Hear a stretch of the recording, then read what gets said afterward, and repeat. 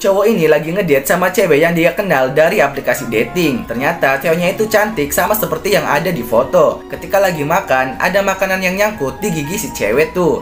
Tapi si cowok tidak masalah sama sekali. Terus pas nuangin lada, eh sumpalan di dada si cewek malah lepas gitu. Si cewek malu banget tuh, tapi dia berusaha untuk biasa saja. Tapi tiba-tiba ada pelayan yang tidak sengaja numpahin air ke cewek tersebut. Alhasil makeupnya jadi luntur dan dia pun malu banget tuh. Dia mau pulang tapi ditahan sama si cowok dan ternyata cowok itu juga punya rahasia kalau dia sebenarnya botak. Dan karena mengetahui kekurangan masing-masing, mereka pun saling menerima dan akhirnya berpacaran guys. Cowok ini galau karena ditolak sama cewek yang dia sukai. Dia pun trauma dan menyendiri di kamarnya tuh.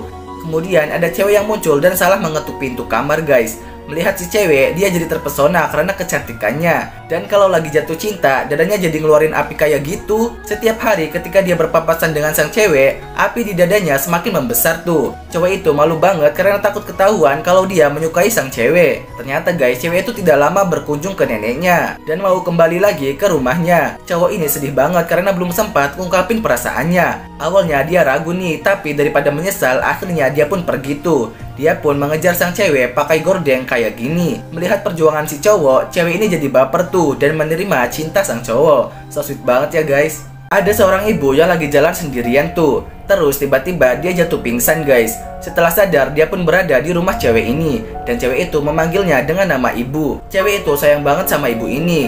Tapi si ibu gak kenal tuh sama cewek ini. Ketika malam hari, ibu itu memutuskan untuk kabur guys. Dia pun pergi diam-diam ketika si cewek sedang tertidur. Terus tiba-tiba si cewek bangun tuh dan tidak membiarkan si ibu untuk pergi. Dan akhirnya si ibu menusuk cewek itu pakai payung guys. Dan bapak yang baru datang ini kaget dong melihat kejadian itu. Dan bener nih, mereka bertiga adalah sebuah keluarga. Dan ternyata si ibu ini mengalami pikun parah dan tidak ingat dengan keluarganya itu. Kasian banget ya guys si ceweknya.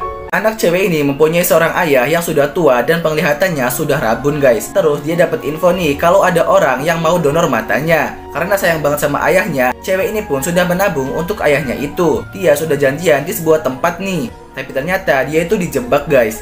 Dia diculik dan mau diambil organ-organnya untuk dijual. Ketika matanya sudah mau dicongkel, beruntung cewek ini bisa bela diri tuh. Dia pun melawan dan berhasil keluar. Tapi ternyata dia itu berada di atas kapal dan gak bisa kabur karena dikepung tuh. Dan satu-satunya cara untuk dia melarikan diri adalah nyebur ke dalam laut. Dia juga mendapatkan sebuah mata nih. Cewek ini pun akhirnya selamat guys dan ayahnya sudah dioperasi dengan mata yang dia bawa. Dan akhirnya ayahnya sudah bisa melihat anaknya yang cantik ini. Seneng banget ya guys.